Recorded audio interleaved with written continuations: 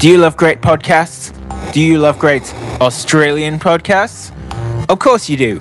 Australians make incredible podcasts. And if you want to stay up to date with the best Australian shows, then check out Oz Podcasts.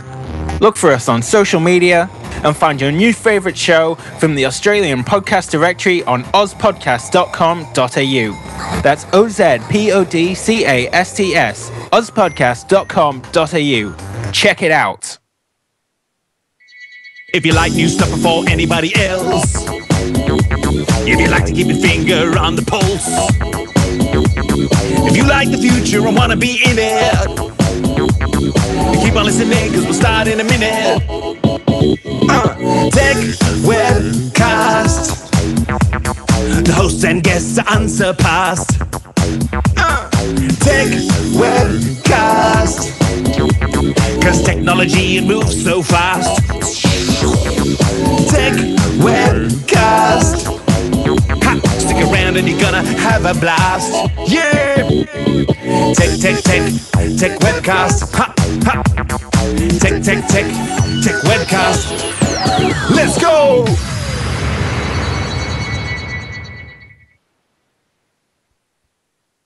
All right. Welcome to episode 296 of the Tech Webcast podcast, recorded on the 12th of June, 2014. Tech Webcast is recorded every Saturday at 12 p.m. Australian time. Please rate us on iTunes and like us on Facebook at Tech Webcast. Follow us at Twitter on Tech Web at Tech Webcast. Hello, Jacob. Hello, Brad, and how was your week so far? My week's been fantastic. Mate, just a quick question to you. What month are we in right now? July. June. June. June? No, we're not. We're in July. He said we were in June. That's what he said. Yeah, that's what, He's a, uh, that's what I was checking.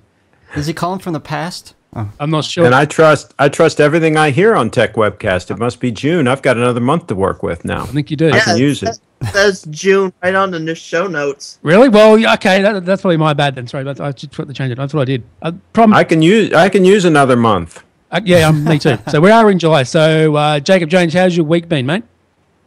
All right, and it got me a little guy sitting on my desk. Show it to the camera. This is uh, actually in the video version as well, so people can see it. I'm not sure if Steve can bring that up or not. Yeah, it's, it's up there now. All right, cool. Uh, Talks as well. Really? Okay, that's great. Uh, we got uh, Craig Ship on. Welcome, Craig Ship. Hey, good to be here. Good to have you on, mate. And you're from. Uh, tell us about what, what you do. Well, um, I have a network of community websites, what I call local portal websites, and I do a whole lot of things associated with those. Nice one. All right, we'll, just- we'll talk about that very soon. Also, we've got, we've got Steve back on. Welcome, Steve. Hey, how you doing? Uh, We were away for a week. We're back now. We had I was in, on. oh yeah, Fourth of July thing. Uh, he's like, yeah, I could see you saying to the darn you Americans, Fourth of July, ruined another tech webcast. No, no, it's all good, mate. No, it's good. It's good to have a break. No, Good I'm to have a just break. kidding. It's all good. Good to have a break. And you also you, you got a uh, new Android device. Um, yeah, we got the uh, Nexus uh, Seven right here because I wanted something Android. Uh, you know, I've got iOS, uh, so I can actually use it and you know try it out and, and report on it and everything else. Well, you know what Craig Ship's going to say. it's poo poo. No, just kidding. I don't know. Okay, That's a bag of hurt. there you go. it's a bag of hurt. Okay. That's a bag of hurt. Yeah. Um. So, what made you get one, Cra- um, Steve? Well, I, I had my I, I got a new iPhone, and so I had my uh, old iPhone 4S I had for a while. I, I, I didn't turn it in. I'm like, well, let me- uh, I was checking on what you know places would actually trade it in for the most money, um, and GameStop was I think offering the most. And I'm like, well, let me. I always wanted to try Android so I can report on it, the different apps and Yeah. whatever. So uh, I've of all the tablets, I was kind of interested in the Nexus Seven uh, compared, you know, some of the other ones. So I figure, ah, why not? I'll get it, and you know, uh, I'll do uh, future news stories on it or whatever. So that's what I did. Well, I hope you don't go pure Android again, No. Steve. Hope you go to No, Android that was good. Linux. That was different, but okay. it's close. Um. Yeah. Okay. So, how is the Nexus Seven? Do you, do you like it? You, Um, I was a little surprised. It was, you know, quite a bit better. Of course, it's got KitKat on it right now. There was some, you know, f- expected flubs. Uh, some application. Or there's really just one application uh, wasn't responding, uh, so I just deleted that after a while. But uh, Okay. I think the developer is just trying to make money off advertising and anything else. But Okay. All right. Uh, we got Jody back on after being away for a while. But welcome back, Jody. Hey, it's good to be back. And uh, what have you been up to? Oh my goodness, I have been all up and down the East Coast. Um, as you know, my little puppy Jewel, who is now nine months old, um, has been showing with the American Kennel Club in conformation. And um, last week, she earned her champion title. So she is now uh, champion Broad Creek's uh, You Were Meant for Me. We don't know. and um, she also got two majors towards her grand champion. So hopefully we'll we'll be showing up at Westminster in January or February. Nice one. Good stuff. Yeah, Good stuff. Good yeah, it's stuff. pretty pretty. I'm I'm very proud of her, as you can tell. Yeah, um, yeah, yeah. Uh, no, Andrew today he's away doing something, and uh, he'll be back next week. We're going to announce a giveaway next week, so uh, it's going to be a big, big giveaway next week. Cool. Uh, also, we got uh, Chris Grey on. Welcome, Chris. Hey, how are you? I'm very well, and yourself?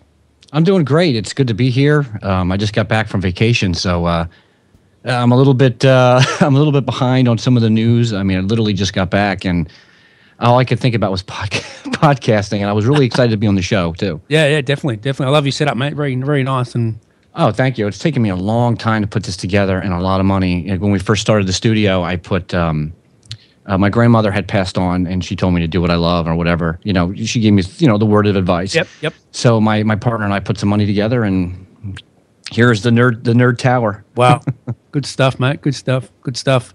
Uh, Nerd, What were we going to say, Jacob? nerdgasm. Yeah, that's it. every day. Um, all right, we've got, we've got some news to talk about, so let's go through some news, and then uh, we'll come back and uh, we'll chat about the stories. Let's. Uh, I'll play this first, and then um, we'll, we'll start the news.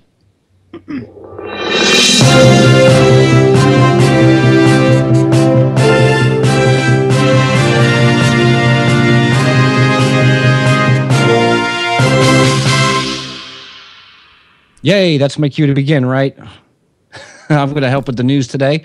Uh, LG has a very flexible 18 inch display, promises 60 inch rollable TVs. This is a great article by Matt Smith from Engadget. You got to love Engadget. Uh, it's been a while since we've seen any new curved or flexible displays following LG's G Flex and Samsung's Galaxy Round smartphones. LG display is thicker, bigger now. It's announced that it's been able to create an 18 inch OLED panel that has enough give and flexibility to roll into a tube that's a mere three centimeters across. The prototype currently has a resolution of 1200 by 810, um, while it's a new polyimide film on the back of the panel instead of the typical plastic, which offers the panels uh, substantially more flexibility, and it also it's also going to be thinner. Alongside the flexible demo, LG also crafted a transparent OLED panel which has tripled the transmittance of existing see-through LCD displays. That means the picture looks much bigger and less hazy, according to LG Display SVP and head of R&D In-Byung Kang.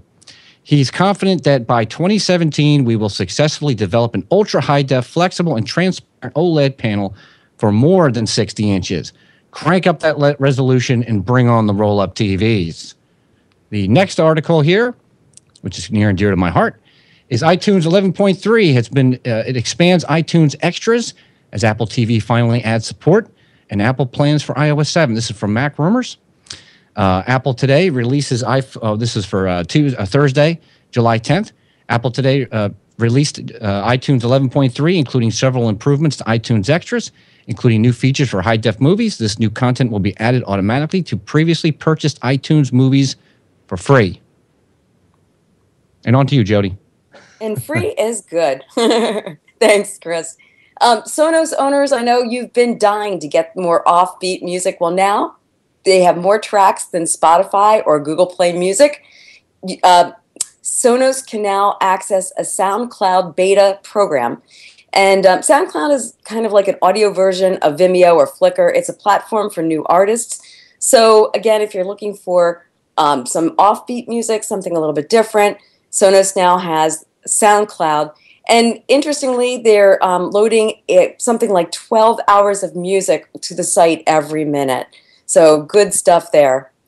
Um, the other story we have is, um, you know, there's an app that's been going around. And I have to tell you that, Brad, you're not the only one who's tried to yo me.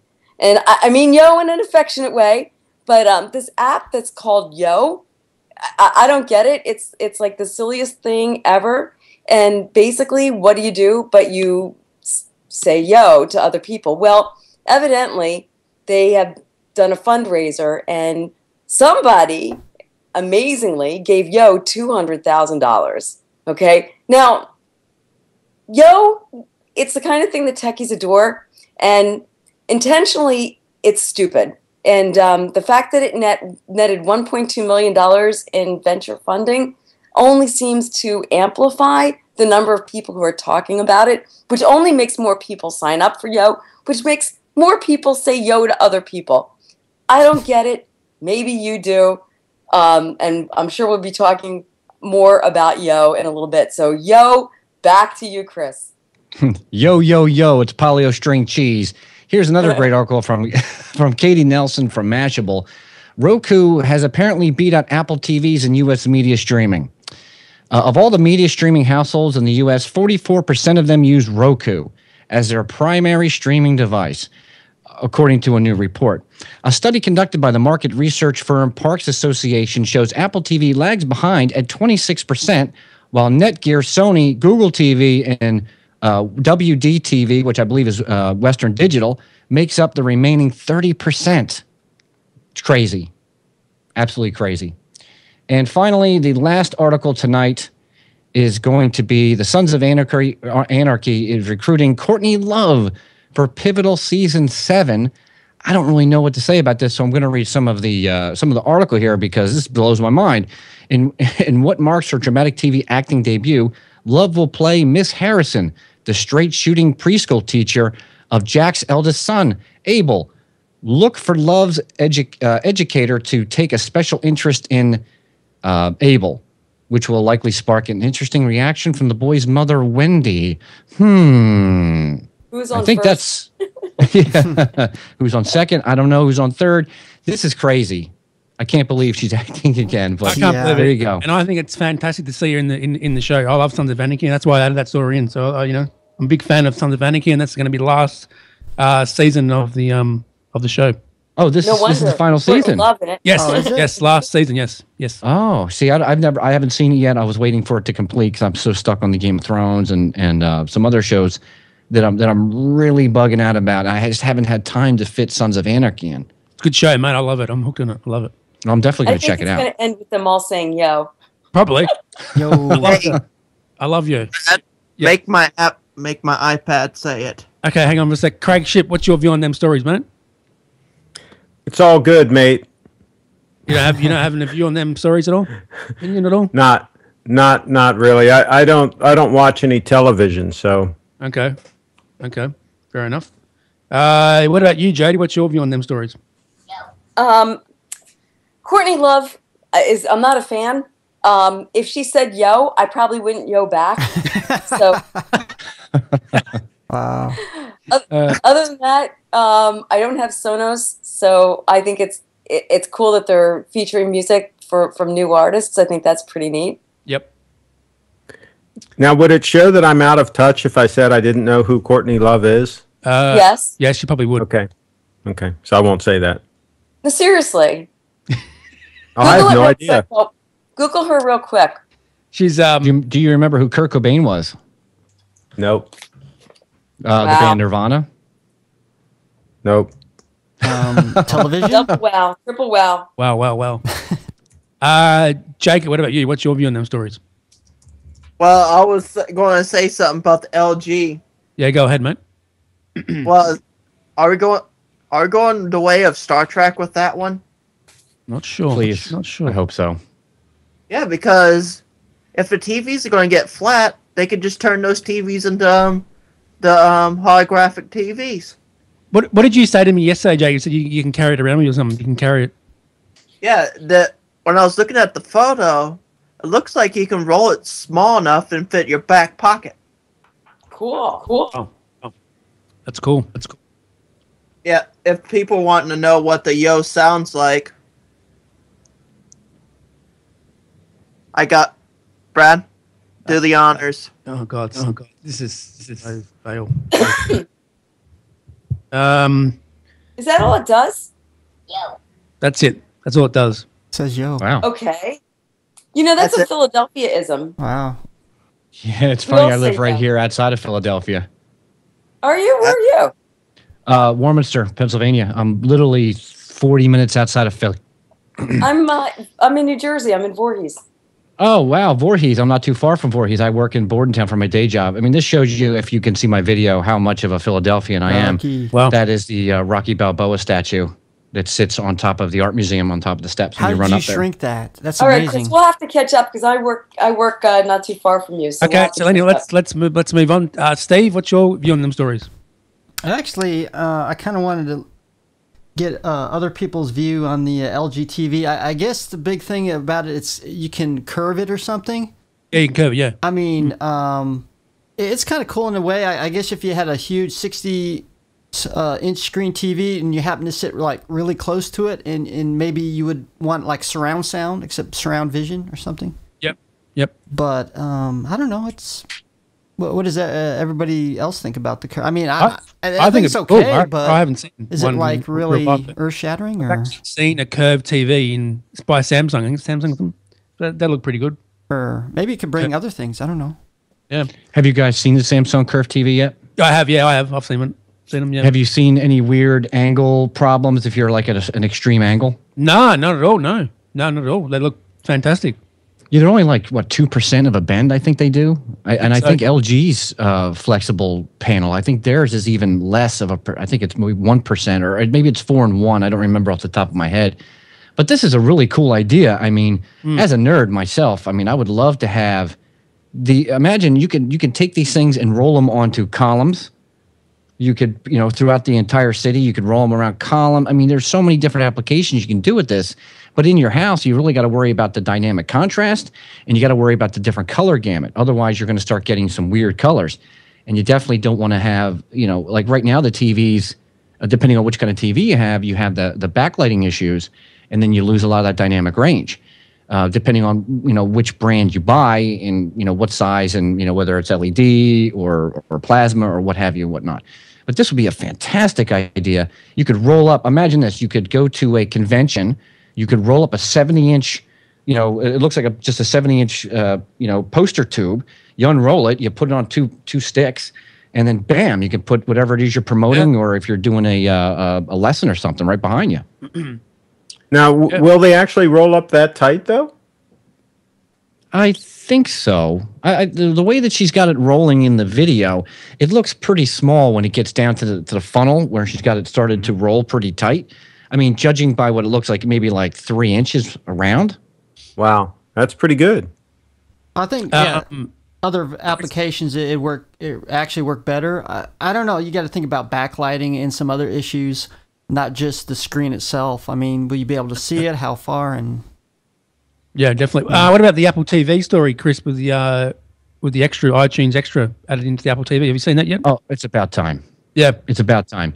I mean, I've had I, I buy I'm pretty much exclusively Apple. The only time I ever use Windows is for my gaming machine or when I'm doing you know side work for people or building computers. But uh, it's about time that Apple finally has the extras in here. So now I, I haven't had a chance to go through my collection because I literally just got home from vacation not too long ago. But I'm looking forward to because I have uh, I must have like 35 or 40 movies now on iTunes. Wow. And I know that there's extras for them. I just Yeah. they never had them before, so I can't wait to go and check out the Lord of the Rings trilogy that I got. Yeah, definitely. Now there's some really good extras in, in the movies. There. They're, really good. Oh yeah. I love the Apple TV. It's, I use it every day. Do you? Oh, I do too. And to feed into the next uh, that one article with the Roku beating out Apple. Yep. I, I don't think Roku should be standing up on the mountain saying, "Yay, we won." I know it's not them reporting it, but I don't think that they should get too excited. Apple still makes more money than they all do, and there's a reason for that. And when Apple finally, uh, you know, Steve Jobs was on record for saying that we nailed it. We nailed it. We have no idea what he nailed because you know they ca- they have treated the Apple TV as a hobby, uh, you know, up until now. But I think that with uh, iOS 8 and Yosemite and uh, and all that uh, interconnectivity, you're going to see. The, I think I really believe we're going to see the Apple TV do some really amazing stuff that could potentially blow the competition. Maybe not out of the water, but definitely make them try to catch up a little bit. Yeah, they've got to open it up to the apps. I mean, we, we Yeah. want our apps on the on the Apple TV. Or some type of, of, of app store. Yeah, I, I- So, well, well, the same apps that are on our phone and our iPad and all. I, I want them on my TV. Well, we can do that now, though, if we do Yeah, if- AirPlay. Yeah, definitely AirPlay. I, I use AirPlay all the time. Yeah, I Yeah, but I don't AirPlay. have to do that. I, I want it to be built into the the Apple TV. That's why I haven't bought one yet. I'm waiting for them to come out with this next new super awesome Apple TV, and I'm hoping it has all the apps and it has everything I want. And then I can couple that with a, a 4K TV, and then I'm done. Just think what Well, they as far can as I know, uh, uh, I'm sorry, I didn't mean to interrupt you, Steve. As far as I know, the the new connectivity, I forget the actual terminology for it, and that's a shame because I do an Apple podcast.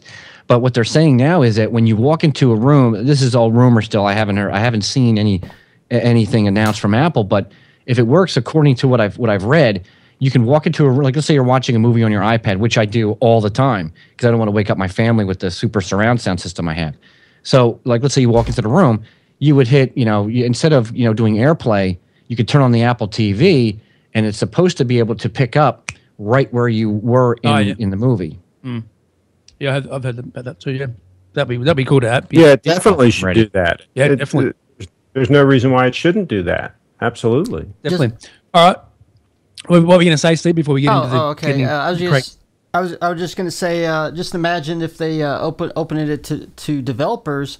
I know uh, the CEO of of the Steam Gaming said if they open it to developers for like gaming, they could possibly you know outdo uh, uh, you know PC gaming and you know many other platforms just by allowing you know people to uh, put their games on you know to the uh, Apple TV, and of course Right. that's just limitless what uh, they developers could put on you know Apple TV, but you know Yeah, Gabe Newell said that. Absolutely. Yeah. Yep, definitely. Okay, uh, we got Craig Ship on. Welcome, Craig Ship, as a guest today. Welcome, mate. Hello, good to be here. And uh, tell us about what you do. You've been, you've been on this show before, and uh, anything new that's come come out lately, or Uh, well, not really. I'm doing the same old thing. We've got a network of these local portal websites. Frederick.com is one for Frederick County, Maryland, where I am right now. Mhm. And uh, I go out and I cover events. I take photos, shoot videos, and so forth, and put it up on the site to help drive traffic into the site. And then we have a whole Right. bunch of businesses that sponsor the site. So I'm I'm just doing the same old thing. okay, good stuff. And what about your shows? What sort of shows do you do on the on the internet? Uh, I'm helping Audrey still with Hooping Live. Uh, Hooping Live is Monday nights at 9 p.m. And I have a show called Hangout 10 that I do occasionally. I haven't been doing it that often uh, lately. Other than that, let me think. I think that's about all I'm doing right now. I've got some other people that, that I helped get started with shows that are still doing shows. Okay, good stuff. And what's your view on Google Plus? What do you, do you like it or hate it or? Well, I mean, I I don't really use it that much anymore. I, I use it again. I, I help with a couple of the shows that, that people are using Hangouts on air to, to basically produce shows. So of course, those go up on YouTube.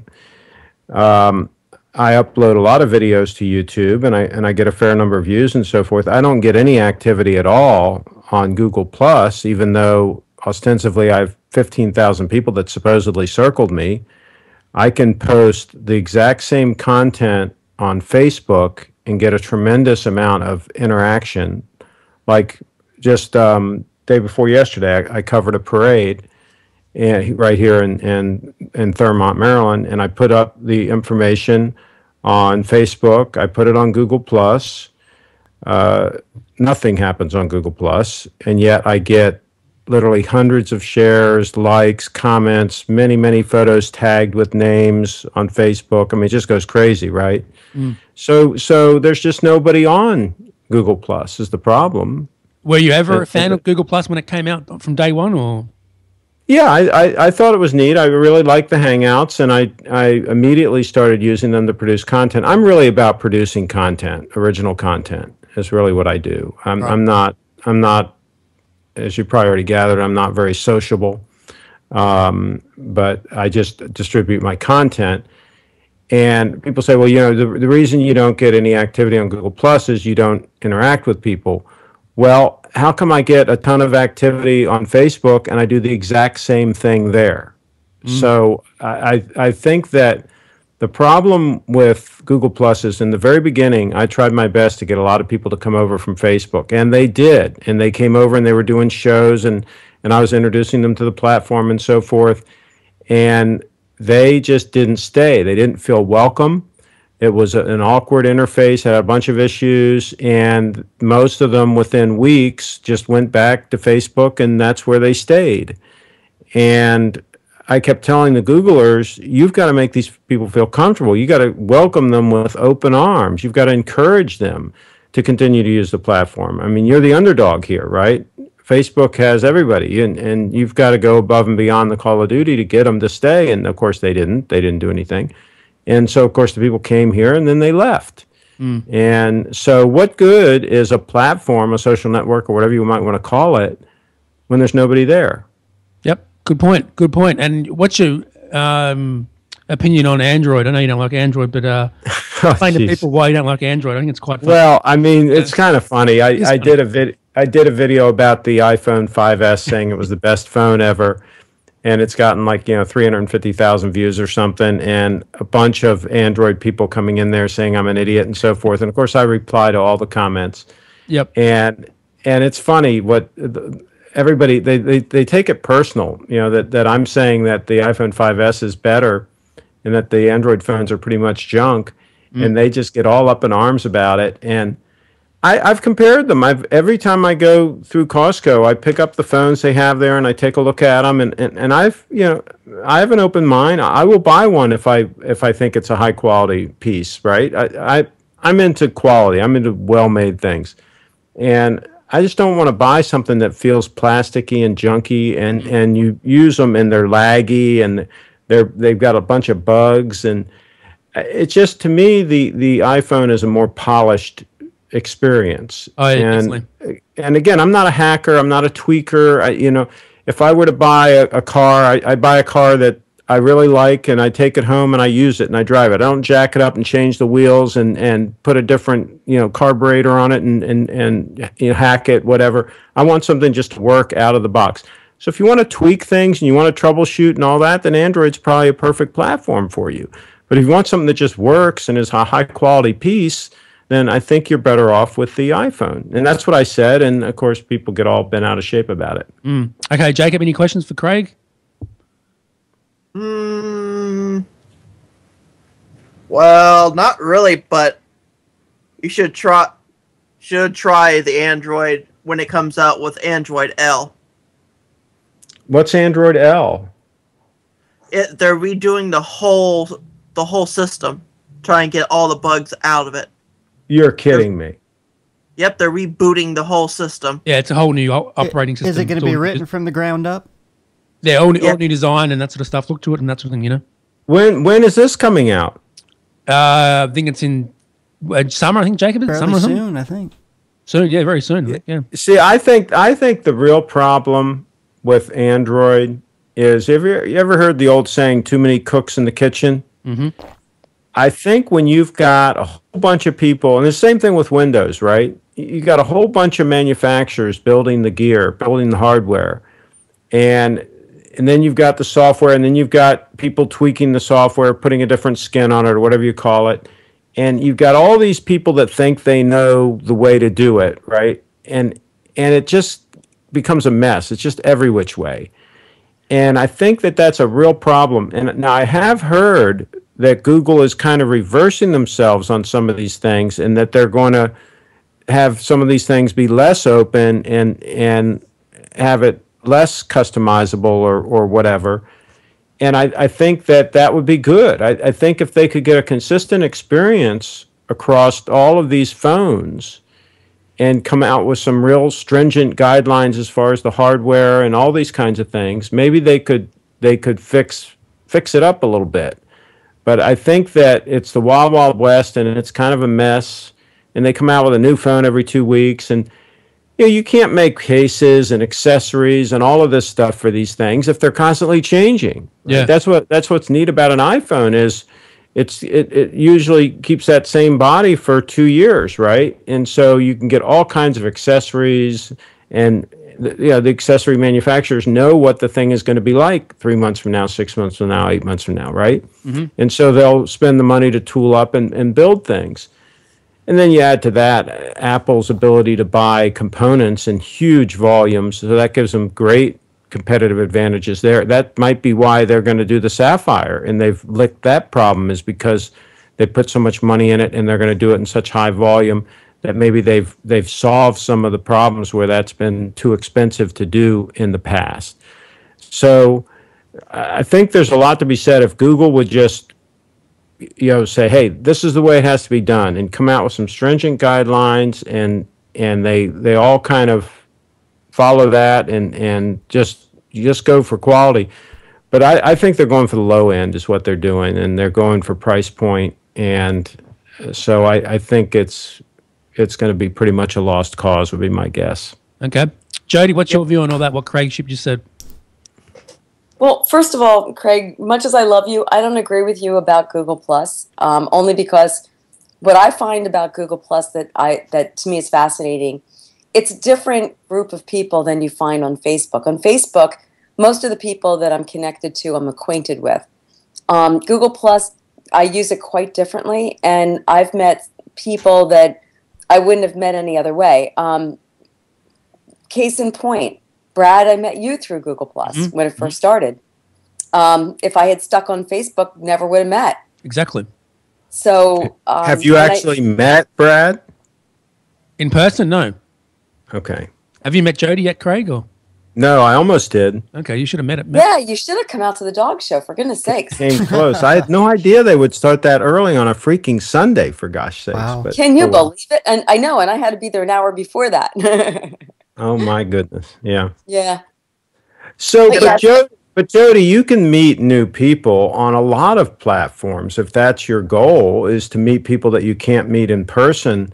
I mean, there's a whole lot of ways to do that, Under, right? Understandable, understandable. But here's here's the the difference. In in my experience, and again, everybody has their own experience and their own paradigm. But um, the people that I've met on Google Plus, I've met because we have shared interests. It's not a dating site. It's not a business networking site. It's not, you know, what I mean, it is social.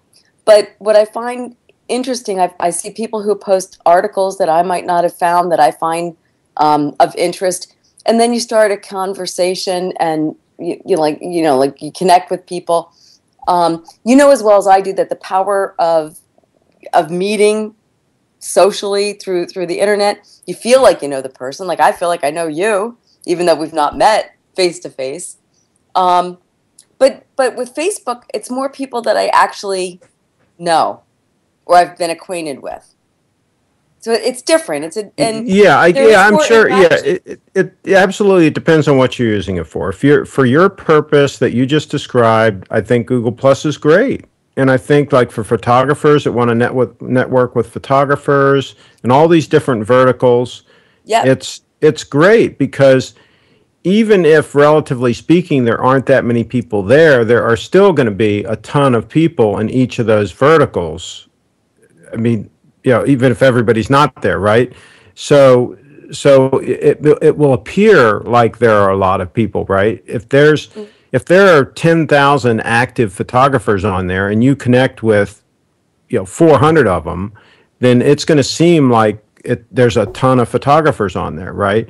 Even though probably every photographer that you meet in your own neighborhood or in your own town most of them that you meet won't be on there there still are a lot of them on there so yes if you're using it the way you're talking about it's great but see that's not the way i use any of these tools. The whole purpose of these tools for me is for me to distribute my content and have people interact with that content.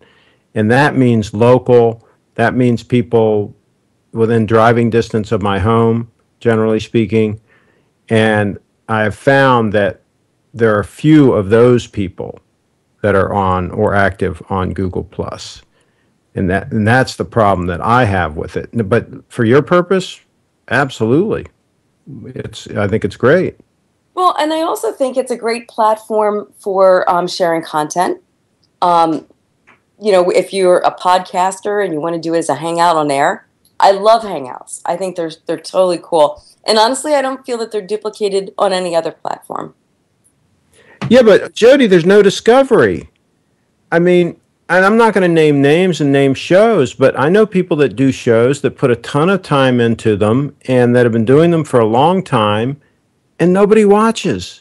And yeah, well, no maybe it's because the, because of the content, or maybe because there's not that much interest.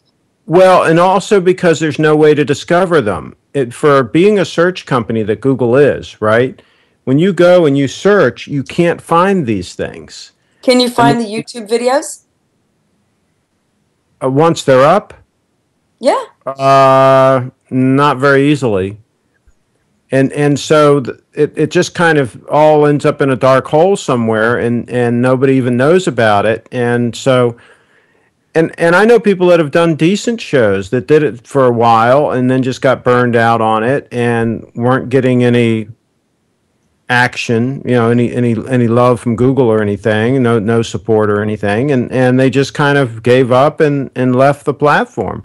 And I think it's sad because I think when people come here and spend time and effort and put on shows and do things like that and create content, they should be supported. And and when somebody does a search, you know, if if a local person, for example, searches about Thurmont, Maryland, or searches about the parade in Thurmont, Maryland, or, or whatever, then they should be able to find that content. There, it, it should be surfaced.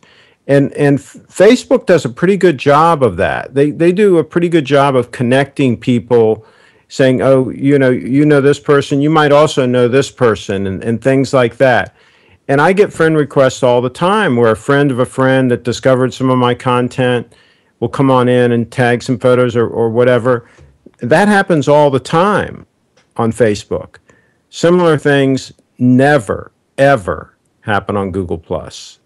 So I just think they've got a long way to go and a lot of issues and a lot of things they've got to fix. And they never even reach out and talk to us about what is wrong. And they never even seem to acknowledge that there is anything wrong.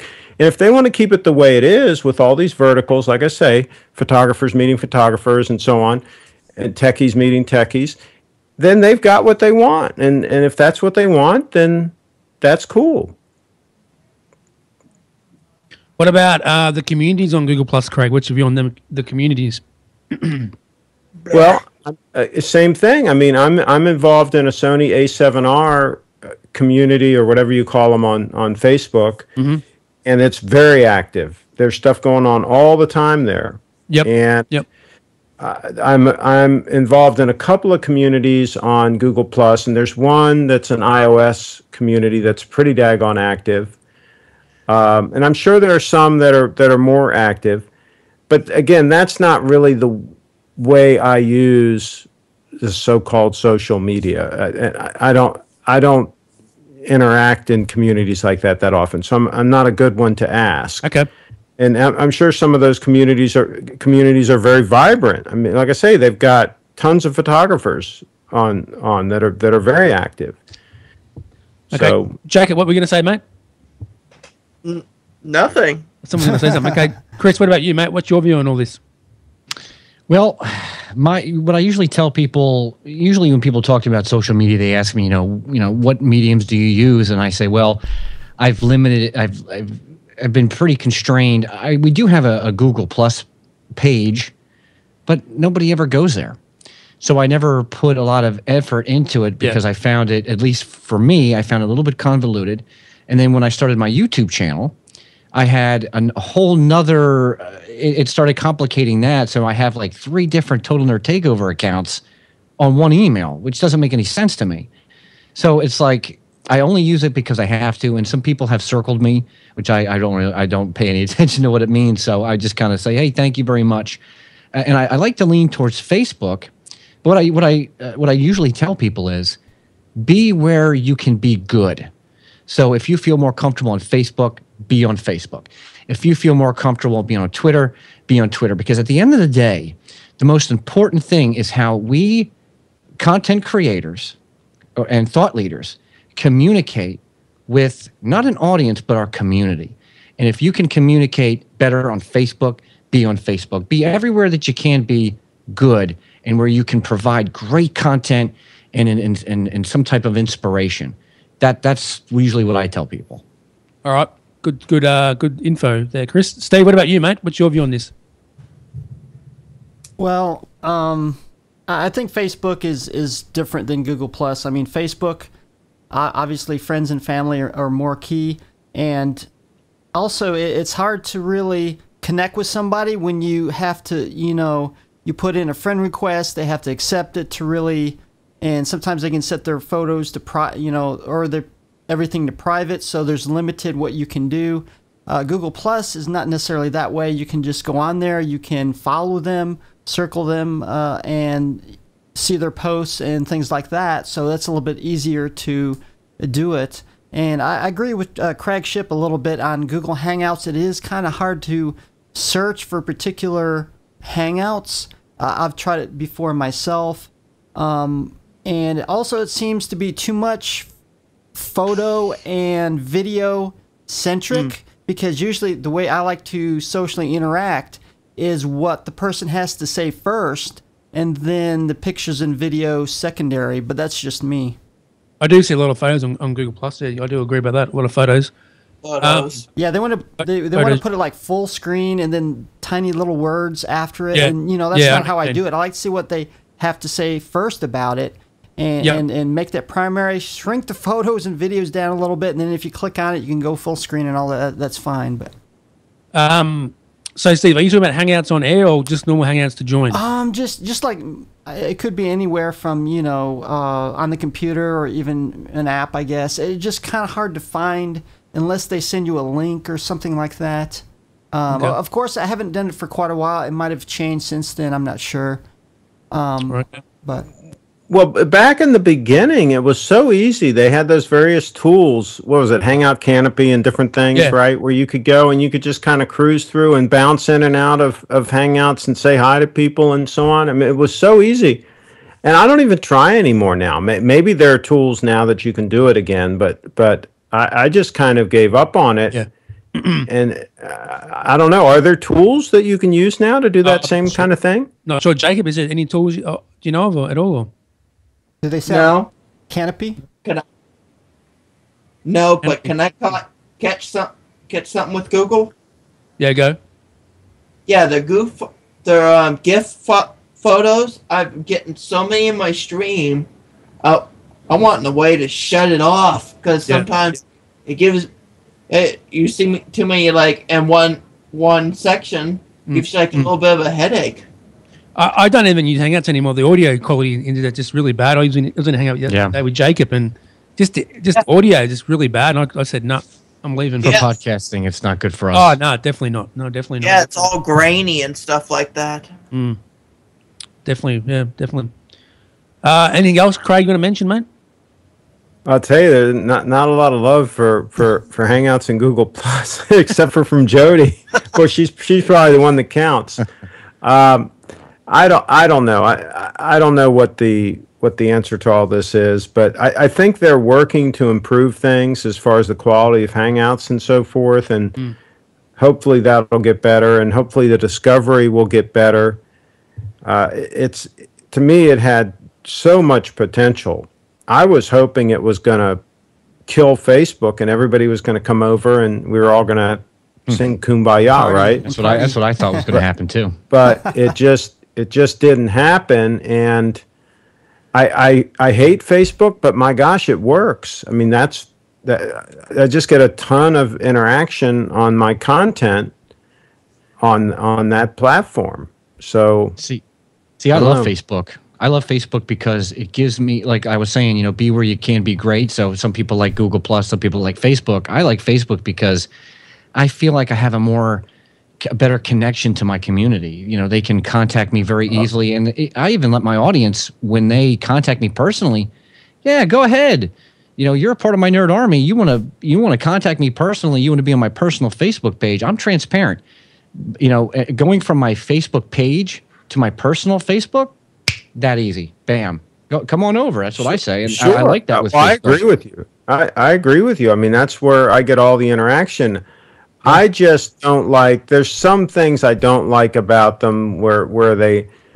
Uh, it's like they're your your nanny or something. I mean, if you put in a friend request to somebody, oh, do you really know this person and so on? I mean, the only time I put a, a friend request in is yes, if I've actually met the person in person and I I took their picture at an event or whatever, and I put it up, and I want them to find it right, so they can tag it and they can share it and so forth. And nine times out of ten, if I do put in a friend request like that, they'll approve it, right? But I'm sure there's the occasional person that doesn't remember or whatever that says, "Oh, I don't know this person," and then of course Facebook gets all up in arms, right? and that they should be smart enough to check and see okay this guy's already got seven of their friends are already his friends he took their f- picture at a freaking event right obviously maybe he does know this person right? So there's some things like that that facebook i think gets wrong that are kind of irritating. But in general like you say it works and people interact on there and the messaging system works and all those kinds of things. I mean, on Google Plus, when there's a message or a notification, I'll click and I'll go and I'll visit something or whatever, and then you can't go back and see it again, and eh, because it disappears, right? On Facebook, you can go back through your messages, and the ones that you haven't clicked on are are bold, right? And then the other ones you can tell which ones you visited and which ones you haven't. I just think there's some things in the interface that just work much better on Facebook, and mm. and I'm just surprised they haven't done a better job of ironing out those kinks. What about And Google Edge Plus? rank stinks, and half the things that you want to see, you can't see, and they decide which of your friends are important and which ones aren't. So you don't get to see stuff that somebody posted that you. Well, the same thing happens on Google Plus, though. I don't see everything in my stream from people that I've circled. Uh, you know, and of course you can go in, I guess, manually and, and, and mess with the volume or whatever, but that's a pain in the neck. Uh, so I think most of these platforms are doing that now. I've heard that Twitter's even doing it. I think Twitter's taken a downfall ever since they went public.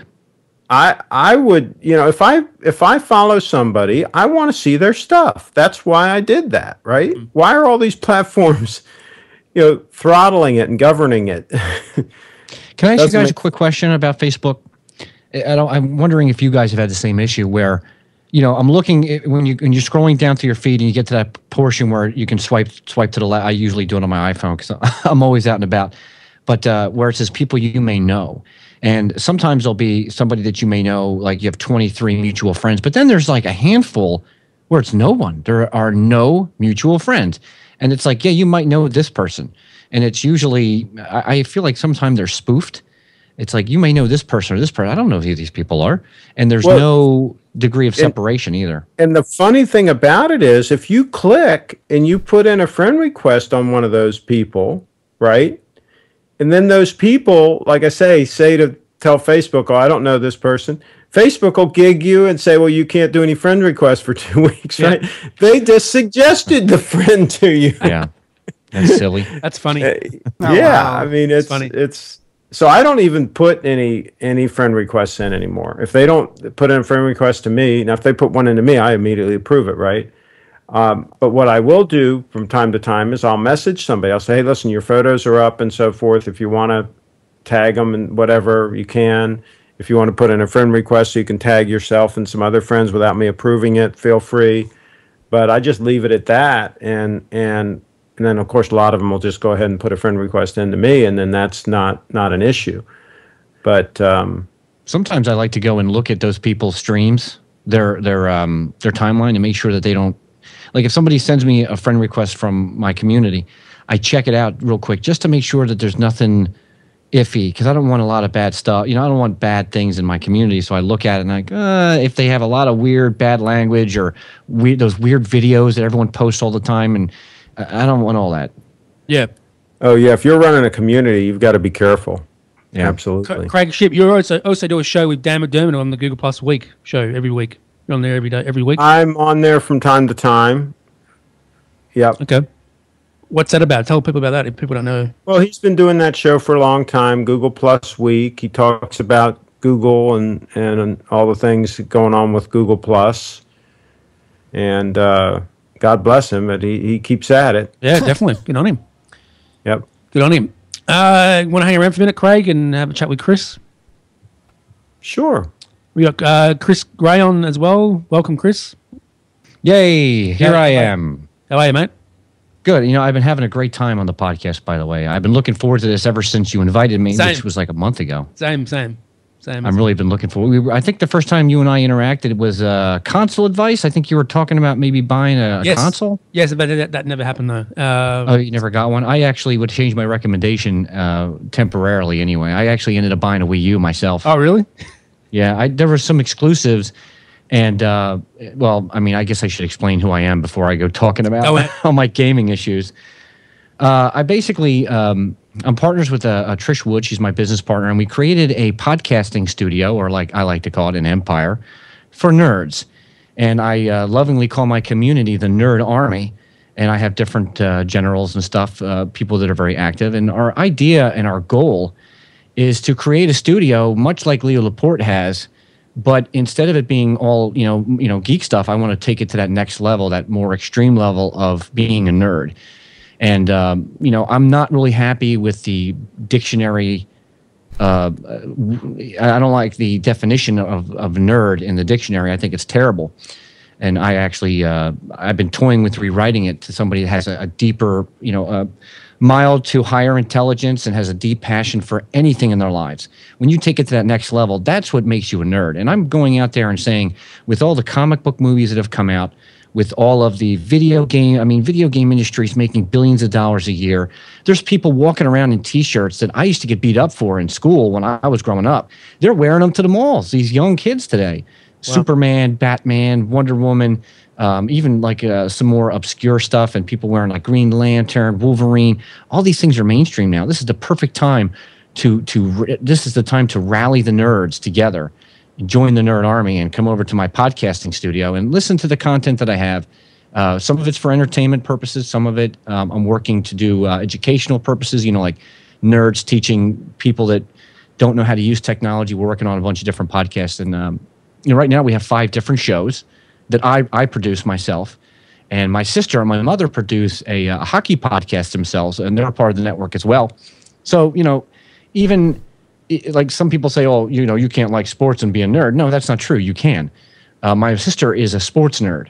Yeah. She knows all kinds of stuff about sports. It, she got the sports gene. I got the, the, the technology gene. So Definitely, yeah. I love the TV stuff and the technology in, the TVs and that sort of stuff. You know.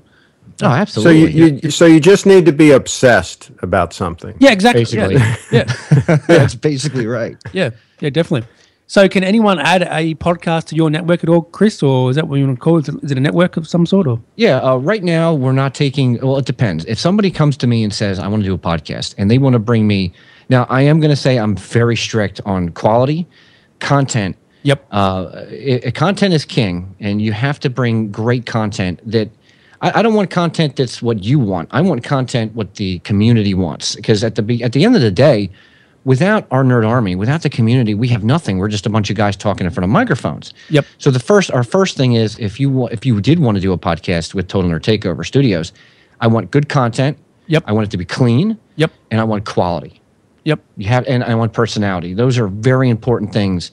And and I'm pretty particular. I mean, I, don't want to say the word Nazi here, but I guess I have to. I am like the soup Nazi when it comes to podcasts. If it sounds weird, I'm on top of it. Uh, you know, I've taken a lot of money, a lot of time, and a lot of my love uh, into this, and it has to sound good. Yeah, definitely. What's your view on this podcast so far, Chris? Well, you've you've listened to a, a couple of episodes, and what's your what's your take on?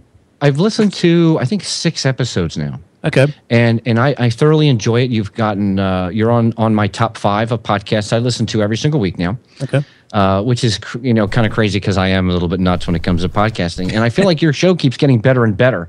Um, although I do miss the old intro. Uh, Okay. I do miss the brain hand. I, I gotta say, when I heard that the first time, I laughed. I thought that was really clever. Okay. I I do like the new intro too, but I, I'm I guess because I've listened to so many episodes now that I'm just used to brain hands. yeah, definitely, definitely. Jennifer actually requested that intro a while back. That's why I, I put it on there for her. So um, she also loves it. Well, now you know Jennifer Ruggiero. Oh yeah, Jen's been phenomenal. Um, uh, she had me. Uh, I met her through a, f- a fellow podcaster. I'll give him a shout out. His name's Kente from uh, IndieRadio.org. They do a lot of great podcasts as well. And uh, it's a long story. It's like uh, we all became friends either on Twitter or listening to each other's podcast. Yep. And uh, he he got me in contact with Jen, and she became she's on in my top five as well. And uh, I was on her podcast, and we clicked so well. I said, "Hey, you know, I would love to have you come onto my shows as a regular." So I brought her on to my flagship show, my TNT show, which is just a you know we just kind of throw all. That's kind of like my show where I take all different facets of nerds, things that nerds would like to buy, collectibles, comics, and I Yep. kind of throw all the different aspects into one show. And she fit in just just perfectly. So I'm going to actually have. I'm actually thinking about you know putting her into another project that I'm working on. I'm always scheming on new projects. I don't have the time, but I'm always scheming. So Definitely. yeah, definitely. she's been a great friend. Uh, Jody, any question? Any questions for Chris? Sorry, I was muted because I keep coughing. Um, yeah, Chris, you, you mentioned your, your top five. I'm curious what they are. Uh, right now, it is the um, iPad today. It is uh, uh, uh, uh, get nerdy with it. Um, Tech Webcast. Uh, it's Security Now with Steve Gibson, and it's um, iOS today. Good shows. Yeah, I like all those shows. I try. I, there's some other shows I listen to as well, but I try to prioritize those five. Either because yeah, it's it's a, it's a combination. I know people.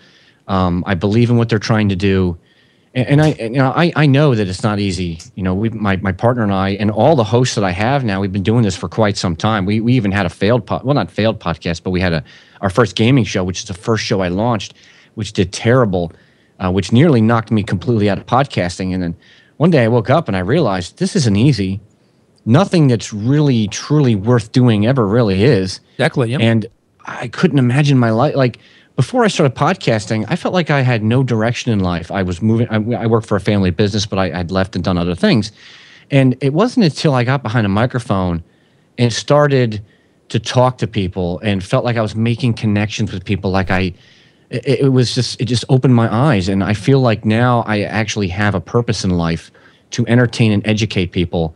And I cannot see myself ever not, even if my my my nerd army fails and everyone abandons me and the, the the studio explodes in space that's fine because i'm always going to do some kind of podcast that's how much i love it Exactly. Now, Jake, explain to uh, people out there how you got into, in, in- into uh, podcasting. Well, for instance, you you actually helped me learn how to get better and better and better. Mm-hmm. And for then I I started out with crappy equipment. Then all of a sudden, after a while, I started to get new equipment, made me better and better and better. You know, a new microphone, a new mixer, they're, they're, they're pretty cheap to buy these days. You know, how much was that mixer you bought? 50 bucks, something? Forty four, 44 And that microphone, it's a good microphone. How much was that mic? fifty There you go. came yeah from you can Steve. podcast you can podcast for very inexpensive these days. I mean i, I went kind of crazy with all the because i'm you know a tech nerd. Yeah. but uh, you can I- i've actually i've i've done some consulting not to get paid for i just did it because it was the right thing to do and you know i was making friends. And these people reached out to me and said hey we love what you do you know can you help us? And, it's i don't want to take up all the time here but real quick story. When i first started podcasting i reached out to some of the bigger podcasters. And i said hey you know my name is chris grey. I'm, I'm starting this nerd empire. I, I could really use some advice. Not one person responded. Not even uh, nothing. I became friends with them on facebook.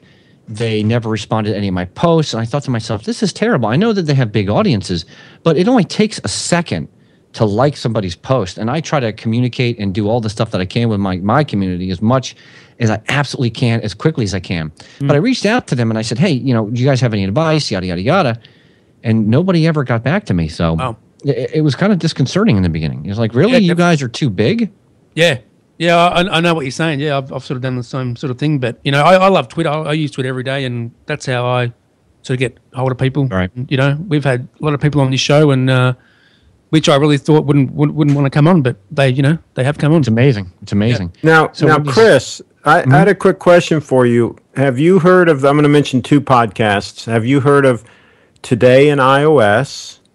Yes. And and the other one I wanted to mention is the Two Hosers. Uh, I've never heard of the two hosers, but I've listened to Today in iOS. It's one of my top, it's on my top five. Ye- oh, okay. Oh, you did mention. Okay. Um, to check out the Two Hosers, they are funny. I'll definitely It's a, check now it's a it's a photography podcast, so I don't know if you're into photography at all. But if you just hear the way they start their shows, it's it's it's pretty pretty wild, and and they show that two people, if they click right, you can really have a, a cool show. So I think that's just worth checking out just just for that aspect of it. Oh, I'll definitely check it out. And and that's something that we've run into here at the at the TNT Studios is we've gone through a lot of different hosts. And you know, it's hard to find people that that have that real good back and forth. And um, luckily, my business partner, I have two business partners right now, uh, Trisha Woods and my friend from the UK. He's my UK correspondent, Peter Gilbert. Um, they've been phenomenal. Uh, Trish has been with me since the very, very beginning. Uh, she put out six grand. I put in six grand. We bought a bunch of equipment, you know, website stuff, uh, you know, artwork, intros. I mean, we went crazy, and uh, you know, we decided a long time ago that we were going all in. This this is what we want to do with our lives. We want to we really want to connect with people, and even if we don't make a dime, I feel so empowered in my life. I feel like I'm doing what I was meant to do. Well, you've got the voice for it. Were you in radio before? No, uh, I've never been in radio. Um, we we've only been podcasting now for about a year and four months. Uh, yeah, give or take. Uh, I don't know. It's just I get in front of this microphone. I, when I was in high school, I used to like to be the class clown, entertain people. Um, I like to think I'm good with people. Uh, I love to listen and talk with people and learn everything anyone has to say.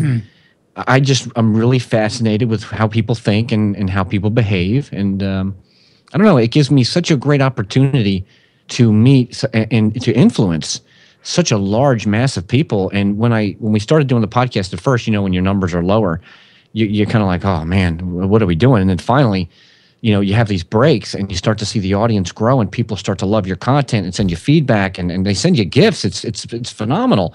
Or buy from your affiliate links or send you donations. And it's like it just blew my mind. And I thought to myself, this this is my life. This is fantastic. I love this. Oh, it is. That's it, Yeah. It sounds like you really found something that you like, and and you're totally into it, and and that's how to be successful. I mean, if if you if you really love what you're doing, it's not a job. Yeah, that's exactly right. I wake up in the morning before I go to my day job, which is I work with my family, which I can't stand.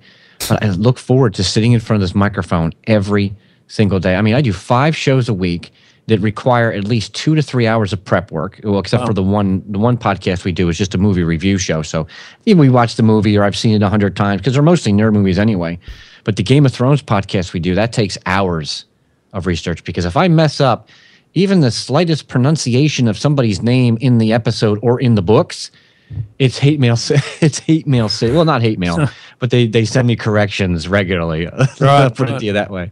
What sort of equipment do you have there, Steve, Steve that you use at the moment? Chris, sorry, I said Steve. Oh, um, yeah, I use a uh, Heil PR40, Yep. Nice, Mark. and I have it. I have it attached to a Heil uh, shock mount. Yep. Onto a uh, a Rode um, uh, arm. I use a 27 inch iMac, a 2013 fully loaded version for. I do that for the videos and for the podcasting. Uh, over here, I use a Behringer um, X1204 USB mixer. Uh, over here on this for my Skype machine, I use a 17 inch Toshiba with an i7 process. It's way overkill for a Skype machine, but I, I, you know, I'm a nerd. What can I tell you? And then I use, um, I have an iPad that I use also when I'm doing the podcasting, depending on which show it is. Cool. And uh, behind me, I have a uh, 13 inch MacBook Pro Retina. Um, I use that for different applications, and then of course I have the gaming computer, which I do. Uh, I do some streaming for video game streaming. Uh, I find that audio only has been my best, you know, venture. So I don't really mess with that as much. But I, I put a little bit of money into the streaming equipment, and I also keep an Audio Technica 2100 USB microphone, which was the very first microphone I started podcasting with. Which, in a lot of ways, if you ever want to check out my, uh, I did a um, a comparison video on my teenert.tv uh, channel. the, the microphone sounds phenomenal, and I paid fifty bucks for it. it. It's a great mic. All of my all of my podcasting hosts, minus my sister and my mother, they all use that microphone, the Audio Technica. Um, my sister and my mom use Heil PR40s. Cool, good stuff, mate. Um, and uh, where do you um, send the podcast out? What sort of websites do you put them up on? What? what? Ah, yeah. So iTunes. our main website, uh, we use Square, uh, we use Squarespace. Okay, yep. which has been phenomenal. We haven't been able to bring our site down. The only problem is it, it is easy to to manipulate, but it's not really podcaster friendly. So we've had to tweak code uh, and customize some stuff and contact customer service, whatever. And for our media host, we use a company called Hipcast. Okay. And big shout out to Hipcast. We couldn't do our Nerd Empire without Hipcast. When we first started, we used a different company. I won't mention their name because they, they do they do a great job, but they weren't right for us. And it was like thir- it would have been thirty dollars per podcast. Now, if I'm hosting six podcasts, there was no way I could have afforded that. With Hipcast, it's twenty bucks a month, and I get two gigabytes of of, uh, of space, and I get a reoccurring one gig added every single month. I do six shows, and they average about uh, an hour to two hours long, depending on, you know, it, it really depends on, you know, the content. You know, the content rules our time. But I've I've never had them send me a bill saying, "Oh, you've gone over, you've gone over." Um, and I use um, for my recording process, I use GarageBand. Nice one. GarageBand has been phenomenal. Okay, what about Podomatic? Have you used Podomatic before? Do you know, do you know Pod- Podomatic? I've never used Podomatic, although I have talked to people um, in the past who have, and and they seem to like it. Yeah, I use it every day. I use it on my podcast. It works fantastic. Well, your workflow, your workflow is important. I mean, the passion takes you so far, right? And the and the passion of podcasting helps you on those days where, you know, you're lo- and, and I, I hope everyone listening out there realizes that podcasting is not easy. It's it not sounds easy. It sounds easy, right? We get in front of the microphones and we act all silly and crazy, and we try to give you guys great content. But even today, we've done. I can't even tell you how many shows we've done in total. Uh, off the top of my head, but even today, I still get a little bit nervous right before I hit the record uh, on GarageBand, and then something snaps and, and you're fine. But um, if you don't have that good workflow, you, you, you, you it, it's more like work.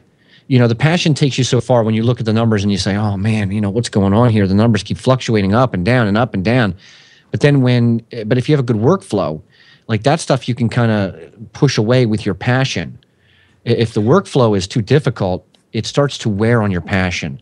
It's almost like you're going on a trip to the dentist. So I think the workflow is important for any podcaster out there. You really have to get a, um, you, you know, at first it's going to be difficult, but if you, you you try to minimize uh, the the length every single every single time I sit down, I try to think, okay, what can I do to make this a little bit easier, a little bit smoother, and not take away the uh, the quality. You know, Chris, I, I equate the workflow to an assembly line. Mm, and in, exactly. in, photo- in photography, it's the same thing. When I go out and I cover an event, I pretty much do the same things all the time. And I come back and I, I've just got it down to a science to where I can just crank it out. Yep. And if you get the right gear and you know the right tripod, the right this, the right that, it just makes it so much more enjoyable. You don't have those hiccups and those those problems. And if you can smooth those things out and just get it really flowing like an assembly line, then it works. Now I have a question about the hosting on on your podcast. Do you have to pay for that bandwidth? Like every time somebody downloads a, a podcast, is, does it Oh, go yeah. ka-ching and you have to pay No. for that? No, it's not like Amazon. Uh, I think Amazon servers they charge you per download, right? Or they charge you per upload, whatever it is, like a, a penny a download or a, a eighth of a penny or whatever it is. No, that's just flat rate. That's just a flat rate. So let's just say, for example, if uh, 150,000 people downloaded one of my podcasts right now today, they wouldn't charge me any different than they charge me. It's 20 bucks a month. Wow, that's great. And Hipcast has been fantastic. We actually did an interview with Michael from Hipcast, and uh, you know I can't speak highly enough about them. They actually, I, I had an interview with him on my TNT flagship show, and they were he was so awesome. He listened to after the podcast was over. He said, "Well, what can I help you guys? What can we change?" And we, we you know, my partner Trisha Woods and myself, uh, we we told him, you know, can you make this a little bit easier and that a little bit easier? Done. He did it within, I think, three weeks. Uh, he codes it himself, and he contacted us on Twitter, and he's like, "It's done." I'm like, "Where do you, Wow. where do you get service like that?" So, so Wow. what's the Blew me away. website called again, Chris? What's it called again? Hip. Uh, hipcast.com. Okay. Is that just for video and audio, or is it just video? What what can you? Um, they do they do video. Um, Okay. They do uh, they do video and audio, and you can even podcast from your smartphone if you wanted to. They used to have an app, but Apple was charging them, you know, that thirty percent. Uh, you know, you know how Apple does it. They charge a thirty. They want their thirty percent cut. But uh, you can actually call in on your phone, and I know it's not really good audio. You know, it's what sixteen kilobytes a second, so it sounds like crap. But if you're at a jam and you need to put that podcast out, you can call a phone number and you can record a call Wow. uh, right from your phone. Although you don't have to anymore. You can pick up an iPad, plug a US, plug the uh, if you have a Lightning or even a 30 pin uh, USB adapter, plug one of these Audio Technicas into it. You know, fire up your uh, your voice recorder, and that's how I do when I go out on the field when I do um, conventions. I, I just either record on my iPhone. If I do video, I bring a tripod on a on a Nito. Uh, I have this really neat uh, mount that holds my iPad, and I do video with the adapter right to the microphone, and it works brilliant. Damn. Good stuff, So mate. it's a good bit of kit, yeah. It is. Yeah. Sounds good. Sounds Have, good. have you used Boss Jock Studio? You know, I just downloaded it. Uh, I want to say it was right before I went on vacation, or maybe it was a week before. I, I have it. I haven't tried it yet, so I'm I'm actually looking forward to giving that a try. Okay. I I played with it some. It's it's pretty awesome for somebody that wants to just be able to, you know, crank it out quick. You just put your Absolutely. little sound effects in there and all that, and and um, it it uh, it's it's really pretty quick and easy to put together something that sounds pretty decent. Yeah, and, and you know what? It's getting easier and easier to podcast. And I mean, I may sound like a little bit of an elitist, and I don't mean to. It's just that me personally, you know, I'm trying to build this empire. I'm trying to make this my living that pays, you know, pays for my mortgage and takes care of my wife and son. And of course, all the people that have helped me to grow this podcasting studio to where it is. I want to make sure I can pay for, you know, I want to be able to take care of them. But if, and I, like I said, I don't want to sound like an elitist. Uh, what I would, what I do want to say though is, if anyone out there has a passion to speak online, if you have something that you want to say, do it. Don't be afraid.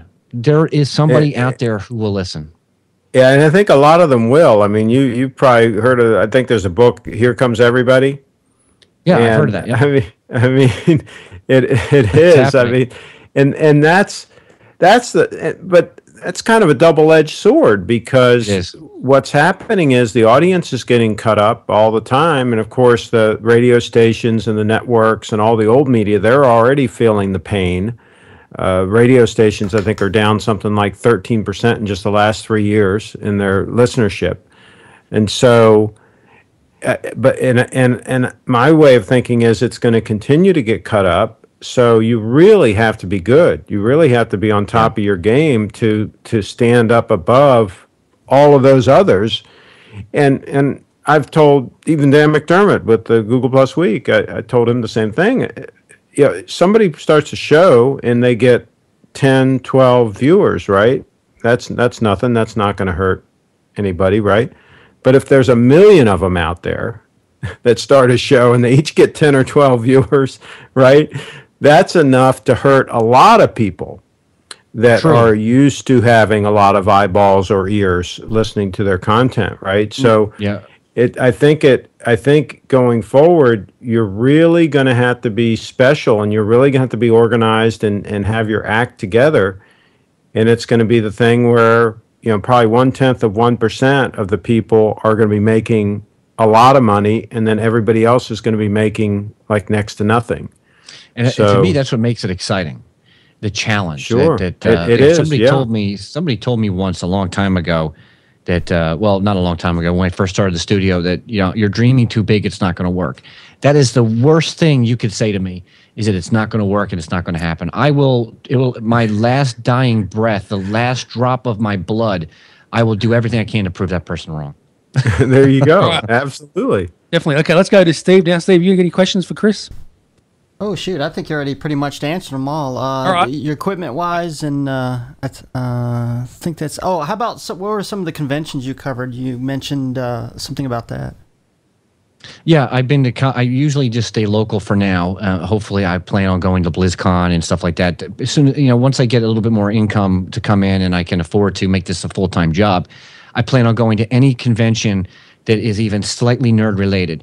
But uh, the conventions I've been to so far is mostly Comic Con New York, and I go to uh, WizCon here, uh, WizardCon in uh, in uh, Philadelphia. Um, there's a couple of cons in New Jersey I haven't been to yet. Um, I go to a convention in Wildwood, New Jersey Um, usually, uh, I went on my vacation to go meet some of the smaller guys because they have fantastic stuff too. I want to try to, you know, I, I don't care whether they're really big uh, comic book sellers are small. If they're interesting, they have good personalities. If they're, you know, I, I, I want to try to get everybody involved in this nerd army. You know. All right, Can I stuff. say something? Go ahead, Jacob. Yep. Well, you you're mentioning WizardCon. There's a per an old Power Ranger that would uh, come out there, like the Jason David Frank, the old Green Uh, the Ranger. Green- the Green Ranger, yeah. Have you met him? I have met him actually. He he was a really cool guy. I've met uh, him, Lou Ferrigno. Uh, let's see. Oh my God, I've met Matt Smith, um, uh, Gillian. I can't remember her, her first name. Uh, she plays uh, Amy- Pond Amy on Uh, Pond? on the last Doctor Who. Uh, I met uh, the guy that plays Darth Maul. I'm sorry, I can't I can't remember his name. I, I- that's a shame because that guy was really awesome. I met Patrick Stewart. A lot of the times, I don't go and pay for the. Um, you have to go and pay for the picture and stuff. A lot of times, as I'm walking around, you'll just see him walk by, and you just say, "Hey, you know, hey Matt Smith," or or "Hey, whatever." And a lot of times, not going to say all the time, but a lot of times they'll stop and say, "Hey, how you doing?" or quickly shake your hand. Um, I met some people from uh, Lost Girl. Uh, I, I- I've met so many people at these conventions. It's been phenomenal. I don't get starstruck because I look at everybody equally. We're all human beings. We're all alive, and, and we all want to be important. So uh, I don't really get starstruck. It's nice to meet them, and, and I'm appreciative of their hard work on the screen or when they draw uh, and do, co- especially artists that draw. My God, I wish I could draw comics or anything for that matter. I can't even draw stick figures. One But more. Go ahead, Jacob. I was just wanting to ask: Have you at, met any other the old, fu- the old Rangers from the any of the o- older series or newer? No, I never. I never have. Although the uh, the Pink Ranger, uh, I forgot her name. Uh, beautiful woman. She was at uh, one of the Comic Cons. Uh, Joe Johnson. yeah, and I have. I, I didn't get a chance to see her. What about favorite TV shows, Chris? What, you- what are you watching on TV at the moment, mate? Oh, um, shows? one of my favorite shows is uh, the Game of Thrones. We do a Game of Thrones podcast. Mhm. Um, uh, but I love the show before we did the podcast. So uh, another good show that I like is Arrow because I'm really big in DC universe. Well, I, I'm, I'm probably not as big in DC universe as I used to be, but I love I love the DC universe.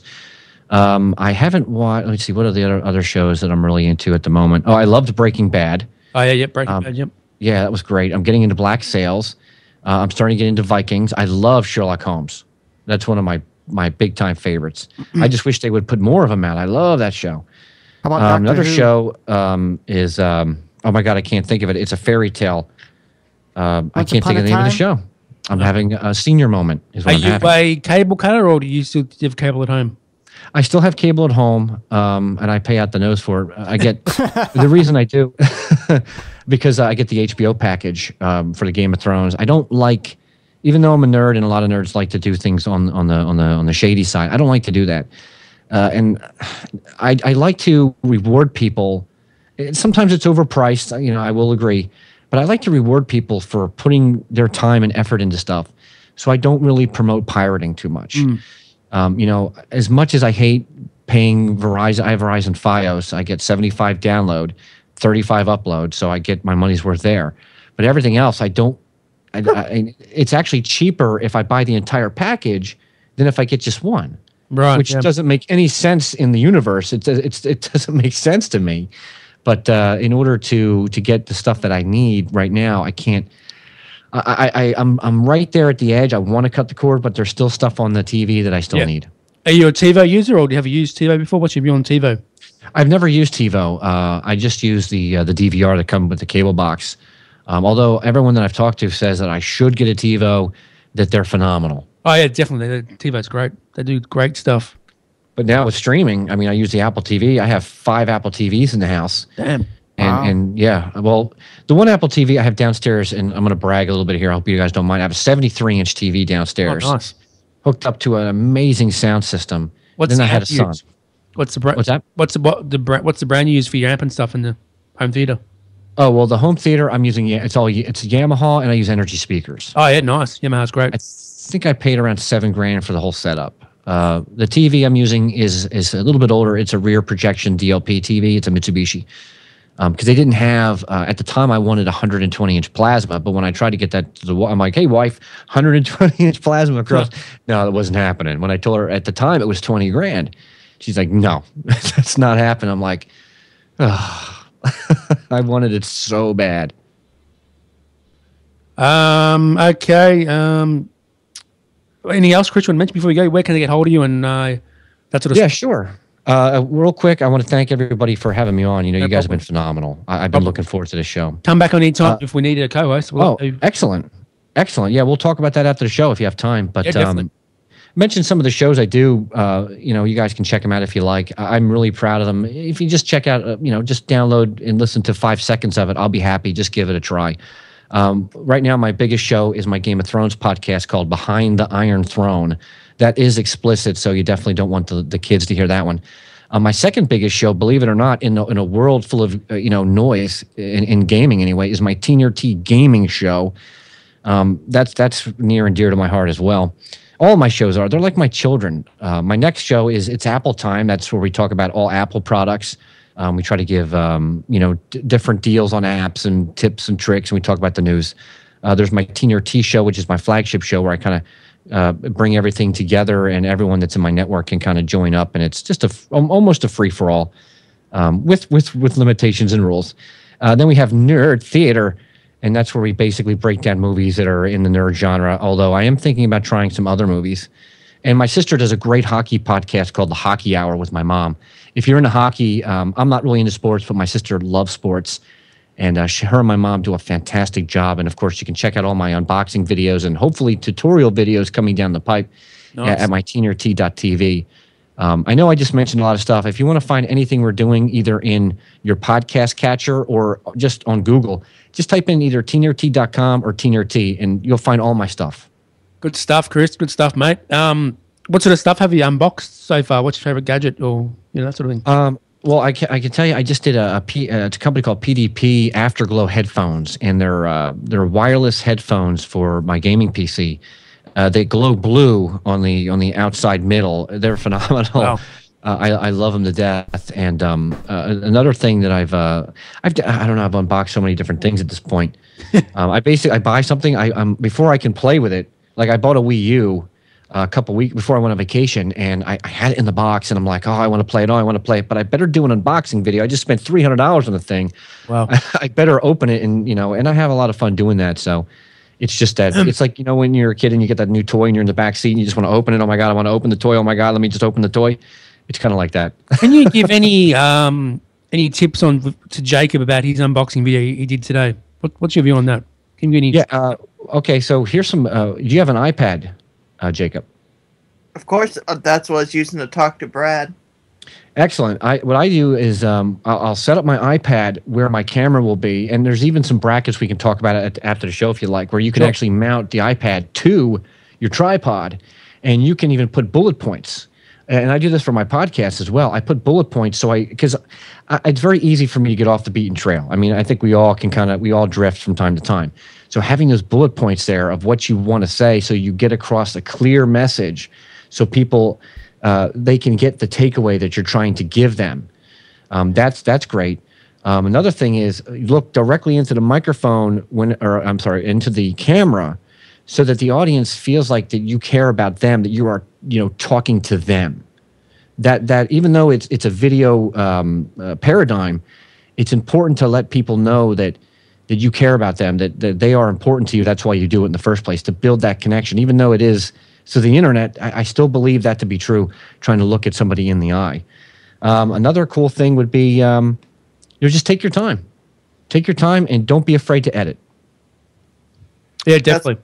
Um, I don't have any editing software. Oh, you definitely need a, you need, you need an iMac, my friend, or a MacBook That's what Pro. I was trying to tell him. You need an, an Apple computer. You can only do Yeah. that sort of stuff on, on Apple. You can't use Windows. Brad, you and I are, are of the same mind. Uh, uh, I'm going to raise my drink to you, sir. Yeah. I'm Apple all the way. When it comes Definitely, to man. creating stuff, it, it just makes it so easy and smooth, and it looks sexy. Yeah, it does. It does indeed, mate. I'm, I would never go back to Windows. Jody, what's your view on all this, and where can they get hold of you? Um, I'm first of all, thank you so much, Chris, and and also Craig for coming on the show today. Um, got a lot of great insights.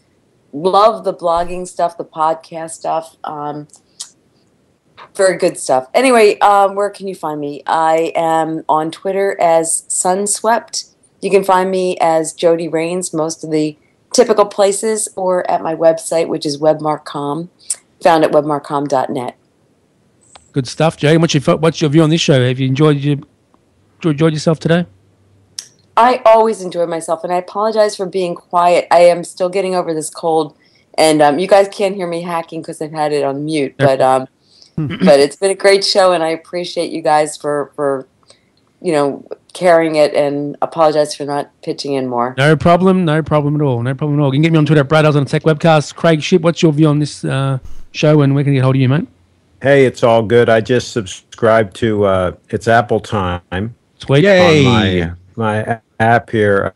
I've got the the Casts app, C A S T S, Yep. and I just searched and boom, it popped right up, and I subscribed and um, got my settings so that it's going to auto download your podcast. It's going to keep the most you so recent two, so I'll be able to keep up on that. I listen to a lot of podcasts because I walk about five or six miles a day, and I listen to the podcast while I'm walking.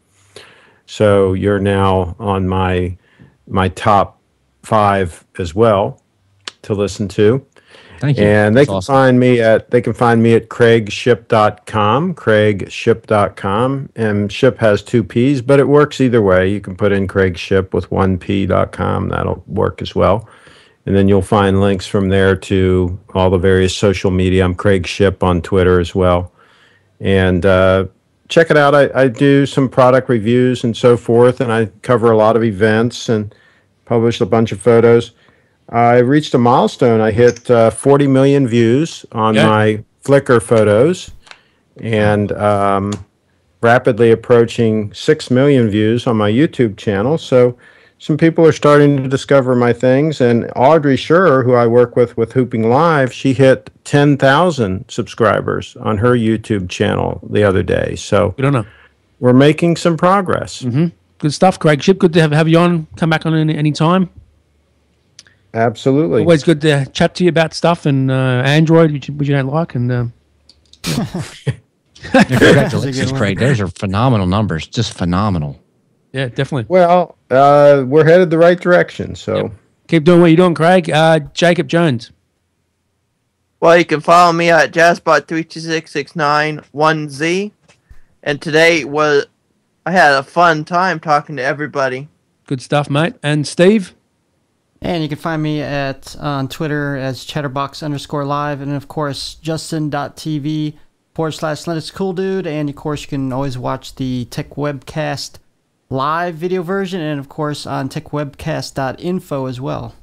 Good stuff. And who's on next week? Steve, you got the And guess- yeah, let me check the calendar, and sometimes I don't always have it updated, but I think we got here we have Jason Schnell. That's it. Yep, yep. He's been he's on uh, the Tweet Network.